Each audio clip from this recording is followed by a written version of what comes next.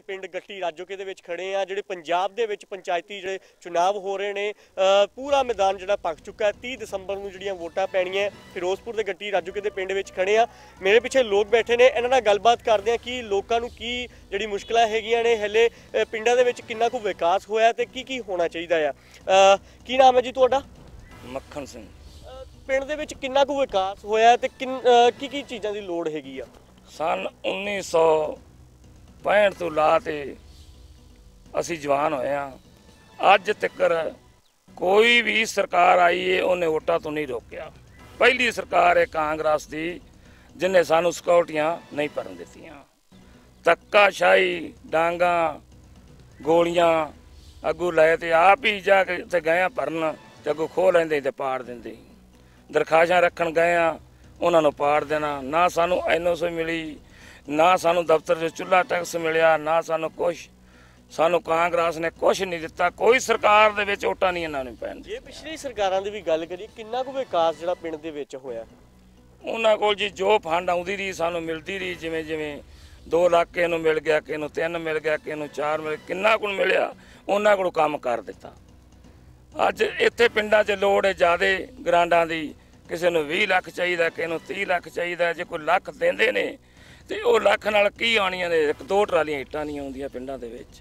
ਕੰਮ ਪਿੰਡ ਦੇ ਵਿੱਚ ਕਿਹੜਾ ਕਿਹੜਾ ਕੰਮ ਹੋਣ ਵਾਲਾ ਹੈਗਾ? ਕਿਉਂਕਿ ਬਾਰਡਰ ਦੇ ਨਾਲ ਹੀ ਪਿੰਡ ਜਿਹੜਾ ਇਹ ਲੱਗਦਾ। ਸਾਡਾ ਜੀ ਅਸੀਂ ਸਨ 1965 ਤੋਂ ਲਾ ਤੇ ਬੈਠੇ ਆ ਇੱਕ ਤਾਂ ਸਾਨੂੰ ਖਾਲਾ ਚਾਹੀਦਾ ਪਾਣੀ ਦਾ ਪਿੰਡ ਵਿੱਚ ਬਹੁਤ ਕੁੜੀਆਂ ਨੂੰ ਮੁਸ਼ਕਲ ਏ। ਕਿਸੇ ਤੋਂ ਵੀ ਕੱਪੜਾ ਨਹੀਂ ਪਿੰਡ 'ਚ ਧੋਤਾ ਜਾਂਦਾ। ਨਾਲ ਪਾਣੀ ਜਾਂ ਖੜਾ ਇੱਥੇ ਆਉਂਦੀਆਂ ਨੇ ਗੰਦੇ ਪਾਣੀ 'ਚ। ਘਰਾਂ ਵਿੱਚ ਪਾਣੀ ਜਿਹੜਾ ਰੁਲਦਾ ਫਿਰਦਾ ਉੱਤੇ ਸੜਕਾਂ ਦੇ ਕੋਈ ਸਾਡਾ ਕੁਆਸ ਨਹੀਂ ਕੋਈ ਖਾਲਾ ਨਹੀਂ ਕੋਈ ਨਾਲਾ ਨਹੀਂ ਕਿੰਦੇ ਨਾਲ ਹੀ ਪਾਣੀ ਬਾਹਰ ਕੱਢ ਲਈਏ। ਨਾ ਹੀ ਇੰਨੀ ਸਾਡੇ ਕੋਲ ਗ੍ਰਾਂਟ ਹੈ ਨਾ ਹੀ ਸਾਡੇ ਕੋਲ ਜਾਇਜ਼ ਆ। ਗਰੀਬ ਬੰਦੇ ਨੇ ਇੱਥੇ ਬਾਰਡਰ ਤੇ ਬੈਠੇ ਨੇ। ਦੋ ਦੋ ਕਿੱਲੇ ਕੇ ਕੋ ਡੇਢ ਕਿੱਲਾ ਕਿਸੇ ਕੋ ਦੋ ਕਿੱਲਾ। ਹੈ। ਉਹ ਵਿਚਾਰੇ ਕਿੱਥੋਂ ਪੈਸੇ ਲਾ ਕੇ ਆਪਦੀਆਂ ਨਾਲੀਆਂ 'ਚ ਖਾਲੀਆਂ ਬਣਾ ਕੇ ਤੇ ਦਰਿਆਵਾਂ ਨੂੰ ਪਾਵਣ? ਸਰ ਜੇ ਪਾਣੀ ਦੀ ਗੱਲ ਕਰੀਏ ਪਾਣੀ ਕਿਵੇਂ ਦਾ? ਪਾਣੀ ਇੱਥੇ ਖਾਰੇ ਨਹੀਂ ਜੀ। ਪਾਣੀ ਭਰ ਤੇ ਰੱਖ ਦਿੰਨੇ ਆ ਉਹ ਪੀਲਾ ਹੋ ਜਾਂਦਾ। ਕੋਈ ਗਰੀਬ ਹੈਗਾ ਹੈ, ਉਹਦੇ ਤੋਂ ਨਲਕਾ ਨਹੀਂ ਲੱਗ ਰਿਹਾ ਜੇ ਕੋਈ ਵੱਡਾ ਹੈਗਾ ਕੋਈ 2-300 ਫੁੱਟ ਕਰਾਇਆ ਬੋਰ ਉਹਦੇ ਤੇ ਇੱਕ ਪਿੰਡ ਸਾਰਾ ਜਾਵੇ ਭਰਨ ਉਂਝ ਨਹੀਂ ਭਰਨ ਦਿੰਦੇ ਪਾਣੀ ਵੀ ਕਿੱਥੋਂ ਤੈਨੂੰ ਨਿਤ ਦਿਹਾੜੀ ਪਾਣੀ ਭਰਨ ਦੀਏ ਸੜਕਾਂ ਦੀ ਗੱਲ ਕਰੀਏ ਸੜਕਾਂ ਕਿਵੇਂ ਦੀਆਂ ਸੜਕਾਂ ਸਾਡੀਆਂ ਸਾਰੀਆਂ ਟੁੱਟੀਆਂ ਹੋਈਆਂ ਨੇ 10 ਫੁੱਟੀ ਸੜਕ ਸੀ ਪਹਿਲਾਂ 12 ਫੁੱਟੀ ਵਿੱਚੋਂ ਫਿਰ ਆਈ ਤੇ 10 ਫੁੱਟੀ ਕਰ ਦਿੱਤੀ ਨਾਲ ਕੋਈ ਲਾਂਘਾ ਹੀ ਨਹੀਂ ਹੁੰਦੇ ਹੋ ਸਕਦਾ ਕਈ ਬੰਦੇ ਐਕਸੀਡੈਂਟ ਹੋਏ ਨੇ ਕਈ ਮਰੇ ਨੇ ਕਈ ਦੀਆਂ ਲੱਤਾਂ ਟੁੱਟੀਆਂ ਪਈਆਂ ਨੇ। ਅੱਜ ਦਿਹਾੜੇ ਤਿਕਰੇ ਸੜਕ 18 ਫੁੱਟੀ ਨਹੀਂ ਹੋਈ। ਕੀ ਮੰਗ ਕਰਦੇ ਸਰਕਾਰਾਂ ਤੋਂ ਕਿ ਤੁਹਾਡੇ ਪਿੰਡ ਦਾ ਵਿਕਾਸ ਕਰਨ ਜਿਹੜੀਆਂ ਤੁਹਾਡੇ ਨਹੀਂ ਹੋ ਸਕਿਆ? ਸਾਡੇ ਪਿੰਡ ਦਾ ਜੀ ਸਰਕਾਰ ਸਾਡੀ ਨੂੰ ਅਸੀਂ ਤਾਂ ਇਹੋ ਹੱਥ ਬੇਨਤੀ ਕਰਨੇ ਵੀ ਪਿੰਡ ਦੇ ਵਿੱਚ ਵੱਧ ਤੋਂ ਵੱਧ ਗਰਾਂਡਾਂ ਦਿੱਤੀਆਂ ਜਾਵਣ ਤੇ ਵੱਧ ਤੋਂ ਵੱਧ ਕੰਮ ਕੀਤੇ ਜਾਣ ਪਿੰਡਾਂ ਦੇ ਜਿਹੜੇ ਲੋਕ ਨੇ ਤੁਹਾਨੂੰ ਫਿਰ ਵੀ ਚਾਹਣ ਵੀ ਇਹ ਸਰਕਾਰ ਸਾਡੀ ਦੁਬਾਰਾ ਫੇਰ ਆਵੇ ਕਿਉਂ ਸਾਡੇ ਕੰਮ ਬਹੁਤ ਚੰਗੇ ਕੀਤੇ ਨੇ। ਨੌਜਵਾਨਾਂ ਦੀ ਗੱਲ ਕਰੀਏ ਨੌਜਵਾਨ ਪੜ੍ਹੇ ਲਿਖੇ ਇੱਥੇ ਕਾਫੀ ਵੀ ਹੈਗੇ ਨੇ ਕੀ ਉਹਨਾਂ ਨੂੰ ਨੌਕਰੀ ਮਿਲੀ ਹੈ? ਨੌਜਵਾਨ ਸਾਡੇ ਕੋਈ ਪਲੱਸ 2 ਨੇ ਕੋਈ ਬੀਏ ਨੇ ਕੋਈ ਕੋਰਸ ਕੀਤੀ ਬੈਠੇ ਨੇ ਵੀ ਅੱਜ ਤੱਕ ਸਾਡੇ ਪਿੰਡ ਦੇ ਵਿੱਚੋਂ ਰਾਜੋਗੀ ਗੱਟੀ ਦੇ ਵਿੱਚੋਂ ਕੋਈ ਵੀ ਮੁੰਡਾ ਨਹੀਂ ਇਹਨਾਂ ਰੱਖਿਆ ਨੌਕਰੀ ਤੇ। ਮੇਰੇ ਨਾਲ ਹੋਰ ਵੀ ਪਿੰਡ ਦੇ ਲੋਕ ਹੈਗੇ ਨੇ ਉਹਨਾਂ ਨਾਲ ਗੱਲਬਾਤ ਕਰਦੇ ਆ ਕੀ ਨਾਮ ਹੈ ਜੀ ਤੁਹਾਡਾ? ਬਲਜੀਤ ਸਿੰਘ ਜੀ। ਤੁਹਾਡੇ ਪਿੰਡ ਦੇ ਵਿੱਚ ਕਿੰਨਾ ਕੁ ਵਿਕਾਸ ਹੋਇਆ? ਕੋਈ ਵਿਕਾਸ ਨਹੀਂ ਹੋਇਆ ਜੀ ਕੋਈ ਕੁਝ ਨਹੀਂ ਹੋਇਆ। ਦੇਖੋ ਸੜਕਾਂ ਸਭ ਟੁੱਟੀਆਂ ਹੋਈਆਂ ਨੇ ਪਾਣੀ ਦੀ ਬਹੁਤ ਪ੍ਰੋਬਲਮ ਹੈ ਜੀ। ਪਾਣੀ ਸਭ ਬਹੁਤ ਗੰਦੇ ਹੋਏ ਪਏ ਨੇ ਸਾਰੇ ਲੋਕ ਬਿਮਾਰ ਹੋਏ ਪਏ ਆ ਪਾਣੀ ਪੀ ਪੀ ਕੇ ਬਹੁਤ ਫਿਰ ਮਜਬੂਰੀ ਕਾਰਨ ਪੀਣਾ ਪੈਂਦਾ ਫਿਰ ਵੀ।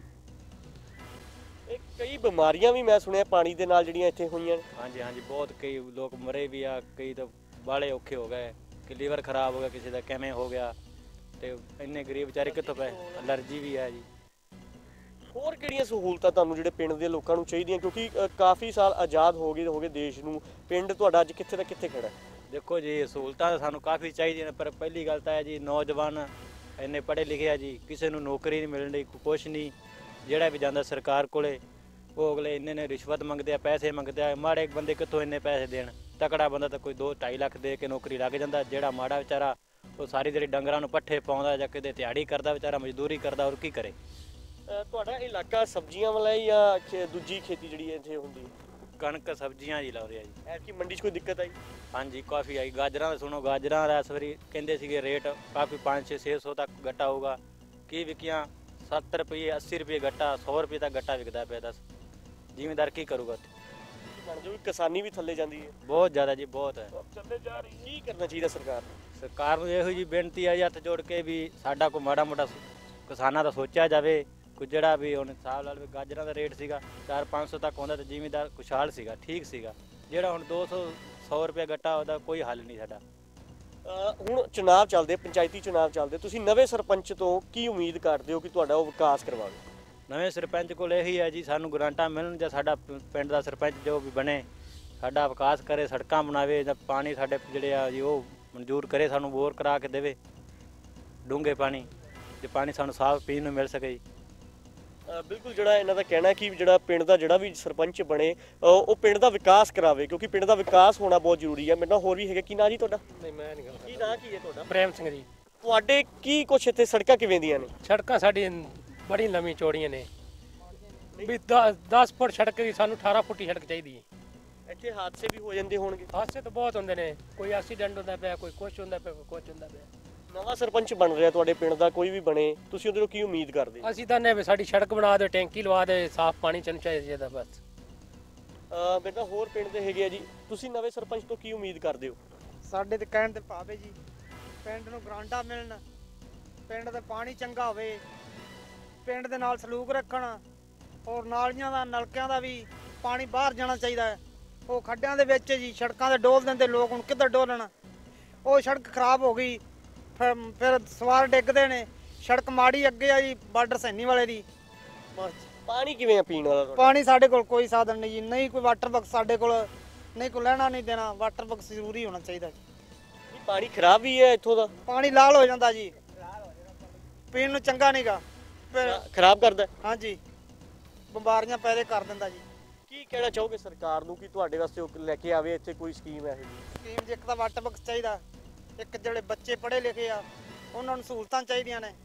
ਇੱਕ ਜਿਹੜੇ ਖੇਤੀਬਾੜੀ ਵਾਲੇ ਆ ਹੁਣ ਵੇਖੋ ਸਬਜ਼ੀ ਦਾ ਕੀ ਰੇਟ ਚੱਲਦਾ ਪਿਆ। ਖਾਦ ਦਾ ਇੱਕ ਗੱਟੇ ਦਾ ਮੁੱਲ ਵੀ ਨਹੀਂ ਮੁੜਦਾ ਪਿਆ।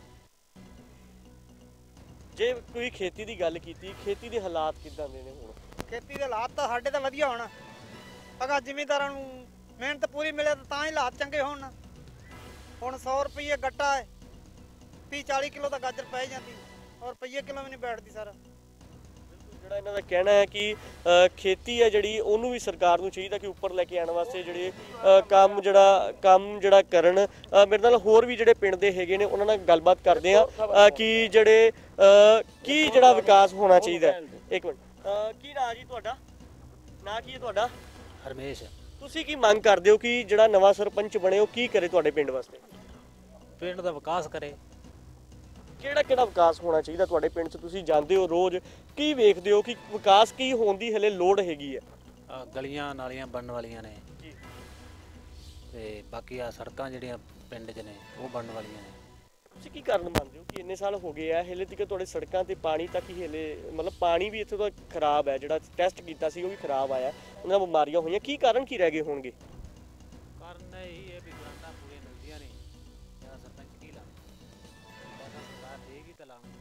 ਪਾਣੀ ਖਰਾਬ ਹੈ ਇੱਥੋਂ ਦਾ ਪਾਣੀ ਬਿਲਕੁਲ ਖਰਾਬ ਹੈ ਜੀ।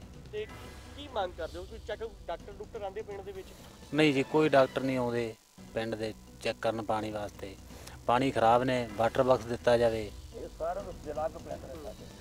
ਤੇ ਤੁਸੀਂ ਅਹ, ਹੋਰ ਕੀ ਮੰਗ ਕਰੋਗੇ ਨਵੇਂ ਸਰਪੰਚ ਤੋਂ ਕਿ ਉਹ ਖਾਸ ਜਿਹੜਾ ਪਿੰਡ ਨਾਲ ਜਿਹੜਾ ਕਰੇ? ਇਹੀ ਹੈ ਗਲੀਆਂ ਨਾਲੀਆਂ ਦਾ ਵਿਕਾਸ ਹੋਣ ਵਾਲਾ ਜੀ। ਇਹੀ ਗ੍ਰਾਂਟਾਂ ਮਿਲਣਗੀਆਂ ਤਾਂ ਕਰਾਣਗੇ ਬਿਲਕੁਲ ਜਿਹੜਾ ਮੈਂ ਕਹਿਣਾ ਕਿ ਗਲੀਆਂ ਦਾ ਜਿਹੜਾ ਵਿਕਾਸ ਹੋਵੇ ਕਿਉਂਕਿ ਇਹ ਜਿਹੜਾ ਪਿੰਡ ਹੈਗਾ ਹੁਸੈਨੀ ਵਾਲਾ ਬਾਰਡਰ ਦੇ ਜਿਹੜਾ ਨਾਲ ਹੀ ਲੱਗਦਾ ਗੱਟੀ ਰਾਜੋਕੇ ਪਿੰਡ ਹੈਗਾ ਵਾ। ਬਿਲਕੁਲ ਸਰਹੱਦ ਦੇ ਨਾਲ ਹੈਗਾ ਵਾ। ਬਾਬਾ ਜੀ ਤੁਸੀਂ ਕੀ ਕਹਿੰਦੇ ਹੋ ਕਿ ਕੀ ਜਿਹੜੇ ਹਲੇ ਵਿਕਾਸ ਹੈ ਉਹ ਰਹਿ ਗਏ ਕੀ ਨਾਮ ਕੀ ਹੈ ਪਹਿਲੇ ਦੱਸੋ? ਮੇਰਾ ਨਾਮ ਪ੍ਰੇਮ ਹੈ। ਕਿਹੜੇ ਵਿਕਾਸ ਰਹਿ ਗਏ ਆ ਜਿਹੜੇ ਹੋਣ ਵਾਲੇ ਤੁਹਾਡੇ ਪਿੰਡ ਦੇ ਸਾਡੇ ਪਹਿਲਾਂ ਤਾਂ ਇਹ ਹੈਗਾ ਵੀ ਇੰਨੇ ਸਾਡੇ ਬਜ਼ੁਰਗ ਵੀ ਪੂਰੇ ਹੋ ਗਏ ਸਾਡੇ ਪਿਛਾ ਹੁਣ ਅਸੀਂ ਵੀ ਪੂਰਾ ਹੋ ਜਾਣਾ ਹੈ। ਅਜੇ ਤੱਕ ਪੈਲੀ ਪੱਕੀ ਨਹੀਂ ਹੋਈ, ਸਾਨੂੰ ਸਰਕਾਰਾਂ ਸਾਰੀਆਂ ਕਹਿ ਦਿੰਦੀਆਂ, ਰੁਪਈਏ ਨਾਲ 2 ਰੁਪਈਏ ਨਾਲ ਕਰ ਦਿਆਂਗੇ ਪੱਕੀ, ਅਜੇ ਤੱਕ ਪੈਲੀ ਪੱਕੀ ਨਹੀਂ ਹੋਈ ਸਾਡੀ, ਉਵੇਂ ਕੱਚੀ ਪਈ ਹੈ। ਉਸ ਤੋਂ ਬਾਅਦ ਸਾਡੇ ਹੈਗਾ ਵੀ ਜਿਵੇਂ ਹੁਣ ਮੁੰਡੇ ਕੋਈ ਪੜ ਗਏ ਜਾਂ ਕੋਈ ਪੜਨ ਵਾਲੇ ਰਹਿੰਦੇ ਹੈਗੇ, ਉਹ ਸਾਡੇ ਕੋਲ ਉਹਨਾਂ ਪੈਸਾ ਨਹੀਂ ਹੈਗਾ ਕਿ ਉਹ ਅਗਰ ਨੌਕਰੀ ਕਿੱਥੋਂ ਕਰਨਗੇ। ਜਿਹਦੇ ਕੋਲ ਪੈਸਾ ਉਹ ਹੀ ਨੌਕਰੀ ਕਰੇਗਾ, ਦੂਜਾ ਤਾਂ ਰਹਿ ਗਿਆ, ਜਿਹੜਾ ਰਹਿ ਗਿਆ। ਬਾਕੀ ਦੂਜਾ ਹੁਣ ਸਾਡੇ ਝੋਨੇ ਵਿਕਣੇ ਸਾਡੀ ਸਰਕਾਰ ਹੁਣ ਮੰਨ ਲਓ ਬਣੀ ਹੈਗੀ, ਉਹ ਤਾਂ ਸਾਨੂੰ ਘਾਟਾ ਪਾਤਾ ਸਾਰਾ। 54 ਰੁਪਏ ਕਾ ਕਾਟ ਸਾਨੂੰ ਪਾ ਕੇ ਕੀ ਸਾਨੂੰ ਫਾਇਦਾ ਤਾਂ ਕੋਈ ਨਹੀਂ ਆਇਆ ਨਾ। ਰੇਟ ਵਧੇ ਦਾ ਕੋਈ ਫਾਇਦਾ ਨਹੀਂ ਰੇਟ ਵਧੇ ਸਾਨੂੰ ਕੋਈ ਫਾਇਦਾ ਨਹੀਂ ਘਾਟਾ ਹੀ ਪਿਆ ਸਾਨੂੰ। ਕੀ ਹੋਣਾ ਚਾਹੀਦਾ? ਹੁਣ ਇਹ ਹੋਣਾ ਚਾਹੀਦਾ ਵੀ ਜਿਹੜਾ ਸਾਡਾ ਝੋਨੇ ਦੀ ਕਾਟ ਪਾਈ ਸਾਨੂੰ ਮਿਲਣੀ ਚਾਹੀਦੀ ਵਾਪਸ। ਸਰਕਾਰ ਦੇਵੇ। ਸਰਕਾਰ ਦੇਵੇ। ਤੁਸੀਂ ਕਹਿੰਦੇ ਹੋ ਕਿ ਸਰਕਾਰ ਖੇਤੀ ਵੱਲ ਧਿਆਨ ਦੇਵੇ? ਖੇਤੀ ਵੱਲ ਧਿਆਨ ਦੇਵੇ। ਜਿਹੜਾ ਅੱਜ ਦਾ ਨੌਜਵਾਨ ਦੀ ਆਪਾਂ ਗੱਲ ਕਰੀਏ ਪਿੰਡ ਦੇ ਵਿੱਚ ਪੜ੍ਹੇ ਲਿਖੇ ਨੌਜਵਾਨ ਹੋਣਗੇ ਕਿ ਰੋਜ਼ਗਾਰ ਹੈਗਾ ਉਹਨਾਂ ਕੋਲ? ਨਾ ਉਹਨਾਂ ਕੋਲ ਇੰਨਾ ਹੁੰਦਾ ਤਾਂ ਦਿਹਾੜੀ ਦਾ ਭਾਈ ਹੈਗਾ ਮਾੜਾ ਮੋਟਾ ਕਰਨਾ ਹੈ ਬਸ ਹੋਰ ਕੋਈ ਨਹੀਂ ਹੈ ਤੁਸੀਂ ਹੋਰ ਕੀ ਮੰਗ ਕਰਦੇ ਹੋ? ਕਿ ਕਿਹੜਾ ਵਿਕਾਸ ਤੁਹਾਡੇ ਪਿੰਡ ਦੇ ਵਿੱਚ ਹਲੇ ਹੋਣ ਵਾਲਾ ਹੈਗਾ ਵਾ? ਹੋਣ ਵਾਲਾ ਤਾਂ ਬਹੁਤ ਹੀ ਅਜੇ ਪਿਆ ਹੈ ਵੀ ਮੰਨ ਕੇ ਚੱਲੋ ਤੁਸੀਂ ਜਿਵੇਂ ਆਪਣੇ ਸੜਕਾਂ ਸੁੜਕਾਂ ਹੈਗੀਆਂ ਨੇ ਜਾਂ ਖਾਲੀਆਂ ਖੁਲੀਆਂ ਹੈਗੀਆਂ ਵਾਟਰ ਬਾਕਸ ਅਜੇ ਤੱਕ ਨਹੀਂ ਸਾਡੇ ਤਿਆਰ ਹੋਇਆ ਦੋ ਵਾਰੀ ਆਇਆ ਹੈ, ਉਹ ਬਣਾਉਂਦਾ ਹੀ ਨਹੀਂ। ਇਹ ਤੋਂ ਚੱਕ ਕੇ ਦੂਜੇ ਪਾਸੇ ਪਾ ਦਿੰਦੇ। ਹਾਂ ਲੱਗਣਾ ਚਾਹੀਦਾ। ਤਾਂ ਹੀ ਪਾਣੀ ਚੰਗਾ ਹੋਵੇਗਾ ਫਿਰ ਬੰਦਾ ਬਚੇਗਾ। ਜੇ ਆਪਾਂ ਮਾੜਾ ਪਾਣੀ ਪੀਤੀ ਗਏ ਤਾਂ ਬਿਮਾਰੀ ਤਾਂ ਲੱਗਣੀ ਲੱਗਣੀ ਹੈਗੀ। ਅਹ ਬਿਲਕੁਲ ਜਿਹੜਾ ਉਹਨਾਂ ਦਾ ਕਹਿਣਾ ਕਿ ਆਰਓ ਸਿਸਟਮ ਇੱਥੇ ਲੱਗਣਾ ਚਾਹੀਦਾ ਹੈਗਾ ਵਾ। ਪ- ਪਾਣੀ ਜਿਹੜਾ ਜਿਹੜਾ ਕਾਫੀ ਖਰਾਬ ਹੈਗਾ ਧਰਤੀ ਦਾ ਜਿਹੜਾ ਨੀਚਲਾ ਹੈਗਾ ਵਾ ਜਿਨ੍ਹਾਂ ਕਰਕੇ ਇਹਨਾਂ ਨੂੰ ਕਾਫੀ ਬਿਮਾਰੀਆਂ ਵੀ ਹੈਨ- ਹੁੰਦੀਆਂ ਨੇ। ਮੇਰੇ ਨਾਲ ਜਿਹੜੇ ਲੋਕ ਆ ਉਹ ਹੋਰ ਵੀ ਕੁਝ ਕਹਿਣਾ ਚਾਹੁੰਦੇ। ਕੀ ਕਹਿਣਾ ਚਾਹੁੰਦੇ ਤੁਸੀਂ? ਆ ਮੋਦੀ ਸਾਹਿਬ ਨੂੰ ਅਸੀਂ ਤਾਂ ਇਹ ਕਹਿੰਦੇ ਆ ਵੀ ਜਿਹੜੇ ਗਰੀਬ ਲੋਕੀ ਬੈਠੇ ਨੇ ਬਾਰਡਰਾਂ ਦੇ ਉੱਤੇ ਇਹਨਾਂ ਵਾਸਤੇ ਤੂੰ ਕੀ ਸੋਚਿਆ ਈ ਤੇ ਕੀ ਨਹੀਂ ਸੋਚਿਆ ਈ? ਉਹ ਤੈਨੂੰ ਕੋਈ ਪਤਾ ਨਹੀਂ ਉੱਤੇ ਬੈਠਾ ਹੈ ਪ੍ਰਧਾਨ ਮੰਤਰੀ ਬਹਿ ਕੇ। ਉਹ ਤੈਨੂੰ ਬਿਲਕੁਲ ਬਿਲਕੁਲ ਜਿਹੜਾ ਇਹਨਾਂ ਦਾ ਕਹਿਣਾ ਹੈ ਕਿ ਦੇਸ਼ ਦੇ ਪ੍ਰਧਾਨ ਮੰਤਰੀ ਨਰਿੰਦਰ ਮੋਦੀ ਜੀ ਨੂੰ ਵੀ ਜਿਹੜਾ ਪਿੰਡਾਂ ਵੱਲ ਵੇਖਣਾ ਚਾਹੀਦਾ ਹੈ ਪੰਜਾਬ ਸਰਕਾਰ ਨੂੰ ਵੀ ਵੇਖਣਾ ਚਾਹੀਦਾ ਕਿਉਂਕਿ ਜਿਹੜਾ ਪਿੰਡ ਹੈਗਾ ਫਿਰੋਜ਼ਪੁਰ ਹੁਸੈਨੀ ਵਾਲਾ ਬਾਰਡਰ ਦੇ ਨਾਲ ਲੱਗਦਾ ਗੱਟੀ ਰਾਜੋਗੇ ਪਿੰਡ ਹੈਗਾ। ਤੁਸੀਂ ਬਾਈ ਜੀ ਕੀ ਕਹਿਣਾ ਚਾਹੋਗੇ? ਕੀ ਨਾਮ ਹੈਗਾ ਤੁਹਾਡਾ? ਤਿਆਰ ਸਿੰਘ ਪਿੰਡ ਦੇ ਵਿੱਚ ਕਿੰਨਾ ਕੁ ਵਿਕਾਸ ਹੈ? ਪਿੰਡ 'ਚ ਭਾਜੀ ਕੋਈ ਵਿਕਾਸ ਨਹੀਂ ਕੁਝ ਨਹੀਂ ਬਸ ਨਾ ਹੀ ਹੈ। ਕਿਹੜਾ ਕਿਹੜਾ ਵਿਕਾਸ ਹੋਣਾ ਚਾਹੀਦਾ ਹੈ? ਮੇਨ ਵਿਕਾਸ ਇਦਾਂ ਜਿੱਦਾਂ ਪਾਣੀ ਦਾ ਨਿਕਾਸ ਹੋਣਾ ਚਾਹੀਦਾ ਪਾਣੀ ਸਾਫ਼ ਮਿਲਣਾ ਚਾਹੀਦਾ ਜਿੱਦਾਂ ਪਿੰਡ ਡਿਸਪੈਂਸਰੀ ਉਹਦਾ ਵੀ ਜਿੰਨੇ ਵੀ ਜਿਹੜੇ ਲੋਕ ਗਏ ਉਹਨਾਂ ਨੂੰ ਇਹ ਸਹੂਲਤ ਮਿਲਣੀ ਚਾਹੀਦੀ, ਦਵਾਈ ਦੀ ਜਿੱਦਾਂ ਹੋਰ ਕਈ ਤੇ ਜਿੱਦਾਂ ਗਲੀਆਂ ਨਾਲੀਆਂ, ਉਹ ਵੀ ਉਦਾਂ ਕੱਚੀਆਂ ਪਈਆਂ ਸਾਲ 1947 ਤੋਂ ਬਾਅਦ ਜੋ ਵੀ ਜੋ ਵੀ ਹੋਰ ਮਾਰਾਂ ਪੈਂਦੀਆਂ ਜਿੱਦਾਂ ਸਾਡੇ ਜੰਗ ਲੱਗ ਜਾਂਦੀ ਉਹਦੇ ਜੰਮੂ ਕਸ਼ਮੀਰ 'ਚ, ਉੱਥੇ ਉਹਨਾਂ ਦਿਨਾਂ 'ਚ ਹੀ ਸਾਨੂੰ ਬੜੀ ਦਿੱਕਤ ਆਉਂਦੀ ਹੈ ਤੇ ਕੋਈ ਇਦਾਂ ਦਾ ਕੋਈ ਨਿਕਾਸ ਨਹੀਂਗਾ ਜਿੱਦੇ ਮਤਲਬ ਜਾ ਕੇ ਸਾਨੂੰ ਲੈ ਉੱਥੇ ਪਿੱਛੇ ਚਲੇ ਜੀ ਤੇ ਸਾਨੂੰ ਕੋਈ ਬੈਠਣ ਲਈ ਥਾਂ ਮਿਲੇ ਜਾਂ ਕਿੱਦਾਂ ਹੀ ਆਪੋ ਆਪਣੇ ਜਾ ਕੇ ਉੱਥੇ ਰਿਸ਼ਤੇਦਾਰਾਂ ਦੇ ਰਹੀਦਾ। ਸਿਹਤ ਸਿਹਤ ਸਹੂਲਤਾਂ ਕਿੱਦਾਂ ਦੀਆਂ ਨੇ ਤੁਹਾਡੇ ਪਿੰਡ ਦੇ ਵਿੱਚ? ਸਿਹਤ ਸਹੂਲਤਾਂ ਜੀ ਮੇਰੇ ਹਿਸਾਬ ਨਾਲ ਇਦਾਂ ਕੋਈ ਜ਼ਿਆਦਾ ਵਧੀਆ ਨਹੀਂ ਹੈਗੀਆਂ ਵੀ ਹੁਣ ਨੌਜਵਾਨ ਕਈ ਗਏ ਆ ਜਿੱਦਾਂ ਜਿਹਨਾਂ ਨੂੰ ਨੌਕਰੀਆਂ ਨਹੀਂ ਮਿਲ ਰਹੀਆਂ ਉਹ ਨਸ਼ੇ 'ਚ ਕਈ ਪੈ ਰਹੇ ਆ। ਦੁਖੀ ਹੋ ਕੇ ਵੀ ਇੰਨੀ ਨੇ ਪੜ੍ਹਾਈਆਂ ਕੀਤੀਆਂ ਗਈਆਂ ਐਮਏ ਬੀਏ ਕੀਤੀ ਹੈ ਤੇ ਕੋਈ ਨੌਕਰੀ ਨਹੀਂ ਮਿਲਦੀਆਂ ਜੇ ਨੌਕਰੀਆਂ ਮਿਲਦੀਆਂ ਵੀ ਤਾਂ ਉਹ ਵੀ ਪੈਸੇ ਸਿਫਾਰਿਸ਼ ਚੱਲਦੀ ਹੈ ਉਸ ਤੋਂ ਇਲਾਵਾ ਕੁਝ ਨਹੀਂ। ਬੇਕਾਰ ਨੇ ਨੌਜਵਾਨ ਮੁੰਡੇ। ਕੀ ਕਰਨਗੇ ਵਿਚਾਰੇ? ਕੀ ਹੋਣਾ ਕੀ ਚਾਹੀਦਾ? ਸਰਕਾਰ ਨੂੰ ਕੀ ਕਰਨਾ ਚਾਹੀਦਾ? ਸਰਕਾਰ ਜਿੱਦਾਂ 100% ਤਾਂ ਕਰ ਨਹੀਂ ਸਕਦੀ। ਸਰਕਾਰ ਨੂੰ ਚਾਹੀਦਾ 40% ਤਾਂ ਕਰੇ। ਪਿੰਡਾਂ ਜੋ ਮੁੰਡੇ ਕੇ ਨੌਜਵਾਨਾਂ ਨੂੰ ਨੌਕਰੀਆਂ ਜੋ ਵੀ ਪਿੰਡਾਂ 'ਚ ਦਿੱਕਤਾਂ ਹੈਗੀਆਂ ਨੇ ਕਈਆਂ ਦੇ ਮਕਾਨ ਕੱਚੇ ਆ ਪਾਣੀ ਸਹੀ ਨਿਗਾ ਪਾਣੀ ਚੰਗਾ ਮਿਲਣਾ ਚਾਹੀਦਾ। ਸਿਹਤ ਸਹੂਲਤ ਜਿੱਦਾਂ ਡਿਸਪੈਂਸਰੀ ਉਹਨਾਂ 'ਚ ਪੂਰੀ ਪਹੁੰਚ ਛਾਣ ਹੋਣੀ ਚਾਹੀਦੀ ਵੀ ਇੱਥੇ ਕੁਝ ਮਿਲ ਰਿਹਾ ਕਿ ਨਹੀਂ ਮਿਲ ਰਿਹਾ। ਉਹ ਵੀ ਐਵੇਂ ਆਰਜੀ ਤੌਰ ਤੇ ਕੋਈ ਉੱਥੇ ਪੁੱਛ ਗਿੱਛ ਨਹੀਂ ਗਈ ਤੇ ਸਰਕਾਰਾਂ ਕਹਿੰਦੀਆਂ ਨੇ ਅਸੀਂ ਗਰਾਊਂਡ ਲੈਵਲ ਤੇ ਮਤਲਬ ਅਸੀਂ ਕੰਮ ਪੂਰਾ ਕੀਤਾ। ਤੁਹਾਨੂੰ ਲੱਗਦਾ ਕਿ ਸਰਕਾਰਾਂ ਨੂੰ ਥੱਲੇੜੇ ਪੱਧਰ ਤੇ ਆ ਕੇ ਵੇਖਣਾ ਚਾਹੀਦਾ ਹਾਂਜੀ ਹਾਂਜੀ ਜੀ ਵੇਖਣਾ ਚਾਹੀਦਾ। ਭਾਜੀ ਮੈਂ ਇਹੀ ਗੱਲ ਕਰਨੀ ਚਾਹਣਾ ਜੀ ਸਰਕਾਰ ਕਹਿ ਦਿੰਦੀ ਵੀ ਅਸੀਂ 100% ਕਰਦੇ ਆ 40% ਵੀ ਨਹੀਂ ਹੁੰਦਾ ਕੰਮ ਇੱਥੇ। ਵੱਧ ਤੋਂ ਵੱਧ ਜੇ ਗ੍ਰਾਂਟਾਂ ਮਿਲਣਗੀਆਂ ਸਾਡੇ ਇਲਾਕੇ ਨੂੰ ਤੇ ਫੇਰ ਹੀ ਕੰਮ ਹੋਣਗੇ। ਜੇ ਉੱਪਰੋਂ ਲੱਖ 2 ਲੱਖ ਰੁਪਏ ਆਉਂਦਾ ਹੈ ਈਠਾ ਤੱਕ ਸਾ- ਇੱਥੇ 20000 ਪਹੁੰਚੇਗਾ ਪਿੰਡ ਤੱਕ। ਇਹਨਾਂ ਦਾ ਕਹਿਣਾ ਕਿ ਸਰਕਾਰਾਂ ਨੂੰ ਥੱਲੜੇ ਪੱਧਰ ਤੇ ਆ ਕੇ ਦੇਖਣਾ ਚਾਹੀਦਾ ਗਰਾਊਂਡ ਰਿਐਲਿਟੀ ਚੈੱਕ ਕਰਨੀ ਚਾਹੀਦੀ। ਮੇਰੇ ਨਾਲ ਨੌਜਵਾਨ ਖੜੇ ਨੇ, ਕਿਉਂਕਿ ਨੌਜਵਾਨ ਸਾਡੇ ਦੇਸ਼ ਦਾ ਭਵਿੱਖ ਹੈ। ਇਹਨਾਂ ਨਾਲ ਗੱਲਬਾਤ ਕਰਦੇ ਆ ਕਿ ਇਹਨਾਂ ਦੇ ਪਿੰਡ ਦੇ ਵਿੱਚ ਕਿਹੜੇ ਹਿੱਲੇ ਵਿਕਾਸ ਹੋਣੇ ਰਹਿੰਦੇ ਆ। ਬਾਈ ਜੀ, ਤੁਸੀਂ ਪਾਣੀ ਦੀ ਗੱਲ ਪਾਣੀ ਦਾ ਕਿਵੇਂ ਦਾ ਪੱਧਰ ਹੈ? ਪਾਣੀ ਦਾ ਪੱਧਰ ਤੁਸੀਂ ਤਾਂ ਆਪਣੇ ਆਪ ਦੇਖ ਰਹੇ ਹੋ ਕਿ ਪਾਣੀ ਦਾ ਕੋਈ ਨਿਕਾਸ ਵੀ ਨਹੀਂ ਹੈਗਾ ਤੇ ਨਾ ਕੋਈ ਇਦਾਂ ਦਾ ਹੈਗਾ ਕਿ ਵੀ ਚੰਗਾ ਪਾਣੀ ਸਹੂਲਤ ਮਿਲਦੀ ਹੈ, ਕੋਈ ਵਾਟਰ ਬਾਕਸ ਵੀ ਨਹੀਂ ਹੈ, ਨਾ ਕੋਈ ਐਰੋ ਲੱਗਿਆ ਹੈ। ਉਹ ਕਿਸ ਤਰ੍ਹਾਂ ਕਰਕੇ ਸਾਨੂੰ ਬਹੁਤ ਦਿੱਕਤਾਂ ਆਉਂਦੀਆਂ ਹੈ ਤੇ ਸਾਨੂੰ ਕੋਈ ਸਰੀਰਕ ਰੋਗ ਵੀ ਲੱਗ ਜਾਂਦੇ ਆ ਜੇ ਕਿ ਜਿਨ੍ਹਾਂ ਨਾਲ ਸਾਡੀ ਸਿਹਤ ਤੇ ਬਹੁਤ ਅਸਰ ਮਾੜਾ ਪੈਂਦਾ ਹੈ ਤੇ ਚਮੜੀ ਦੇ ਰੋਗ ਜੋ ਖੁਜਲੀ ਜੋ ਹੈ ਵਗੈਰਾ ਵਗੈਰਾ ਤੇ ਜੋ ਹੈ ਬਹੁਤ ਪ੍ਰੋਬਲਮ ਹਨ ਸਾਨੂੰ ਕਿ ਪਾਣੀ ਦਾ ਕੋਈ ਪ੍ਰਬੰਧ ਨਹੀਂ ਹੈਗਾ ਇੱਥੇ? ਪੀਣ ਵਾਲਾ ਪਾਣੀ ਜਿਹੜਾ ਉਹਨਾਂ ਨੇ ਕਿਸੇ ਪ੍ਰਸ਼ਾਸਨ ਨੇ ਕੀਤਾ ਹੋਵੇ ਕਿਉਂਕਿ ਟੈਸਟ ਤਾਂ ਕਾਫੀ ਵਾਰ ਹੋਇਆ। ਟੈਸਟ ਬਹੁਤ ਵਾਰੀ ਹੋ ਚੁੱਕਿਆ ਘੱਟ ਤੋਂ ਘੱਟ ਬਹੁਤ 50 60% ਦਾ ਵਾਰੀ ਕਰ ਚੁੱਕੇ ਆ ਕਿ ਵੀ ਪਾਣੀ ਆਊਗਾ ਆਊਗਾ ਪਰ ਅਸੀਂ ਵੇਟ ਹੀ ਕਰੀ ਜਾਂਦੇ ਹਾਂ ਬਸ ਇਹਦੇ ਸਾਡੇ ਵਾਸਤੇ ਹੋਰ ਕੁਝ ਨਹੀਂ ਚਾਰਾ ਜੀ ਅਹ ਤੁਸੀਂ ਨੌਜਵਾਨ ਹੋ ਤੁਸੀਂ ਕੀ ਮੰਨਦੇ ਹੋ ਕਿ ਅਹ, ਤੁਹਾਡੇ ਪਿੰਡ ਦੇ ਵਿੱਚ ਰੋਜ਼ਗਾਰ ਹੈਗਾ ਮੁੰਡਿਆਂ ਦੇ ਕੋਲ ਨੌਜਵਾਨਾਂ ਦੇ ਕੋਲ? ਰੋਜ਼ਗਾਰ ਕਰਨਾ ਚਾਹੁੰਦੇ ਆ ਪਰ ਅਹ, ਕਿ ਉਹਨਾਂ ਵਾਸਤੇ ਕੋਈ ਐਦਾ ਕੰਮ ਨਹੀਂ ਆ ਕਿ ਵੀ ਕਿਹੜਾ ਆਪਣਾ ਸਾਈਡ ਬਿਜ਼ਨਸ ਕਰ ਸਕਣ ਕਿ ਆਪਣਾ ਘਰ ਦਾ ਸਰਕਲ ਚਲਾ ਸਕਣ ਕੋਈ ਨਹੀਂ ਹੈ ਜੀ। ਤੁਹਾਡੇ ਪਿੰਡ ਦਾ ਕਿੰਨਾ ਕੁ ਵਿਕਾਸ ਹੋਇਆ? ਜਦੋਂ ਦਾ ਦੇਸ਼ ਆਜ਼ਾਦ ਹੋਇਆ ਉਦੋਂ ਦੀ ਗੱਲ ਕਰੀਏ। ਮੇਰੇ ਹਿਸਾਬ ਸਾਡੇ ਹਿਸਾਬ ਨਾਲ ਤਾਂ ਕੁਝ ਨਹੀਂ ਹੈ 10% ਵੀ ਨਹੀਂ ਹੋਇਆ ਜੀ।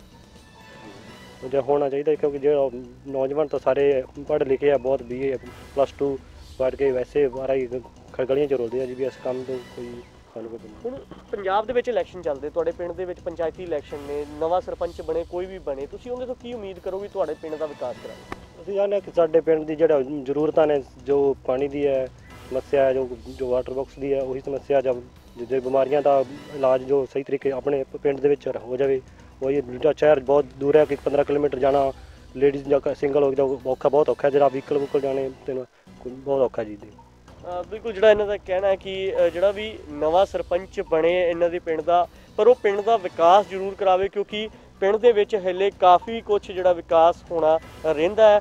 ਅਸੀਂ ਅੱਜ ਜਿਹੜਾ ਹੁਸੈਨੀ ਵਾਲਾ ਬਾਰਡਰ ਗੱਟੀ ਰਾਜੋਕੇ ਦੇ ਇੱਥੇ ਪਿੰਡ ਦੇ ਵਿੱਚ ਖੜੇ ਸੀ। ਪਿੰਡ ਦੀ ਪੰਚਾਇਤ ਦੇ ਵਿੱਚ ਅਸੀਂ ਦਿਖਾਇਆ ਲੋਕਾਂ ਦੀਆਂ ਮੁਸ਼ਕਲਾਂ ਦਿਖਾਈਆਂ ਕਿ ਉਹਨਾਂ ਨੂੰ ਕਿਹੜੀਆਂ-ਕਿਹੜੀਆਂ ਦਿੱਕਤਾਂ ਜਿਹੜੀਆਂ ਇੱਥੇ ਆ ਰਹੀਆਂ ਨੇ ਤੇ ਉਹਨਾਂ ਨੇ ਸਰਕਾਰ ਤੋਂ ਤੇ ਪ੍ਰਸ਼ਾਸਨ ਤੋਂ ਤੇ ਆਪਦੇ ਨਵੇਂ ਸਰਪੰਚ ਤੋਂ ਇਹੀ ਮੰਗ ਕੀਤੀ ਹੈ ਕਿ ਪਿੰਡ ਦਾ ਵਿਕਾਸ ਜ਼ਰੂਰ ਕਰਵਾਇਆ ਜਾਵੇ। ਕੈਮਰਾਮੈਨ ਸੁਭਾਸ਼ ਦੇ ਨਾਲ ਸਨੀ ਚੋਪੜਾ, ਲਿਵਿੰਗ ਨਿਊਜ਼ ਫਿਰੋਜ਼ਪੁਰ।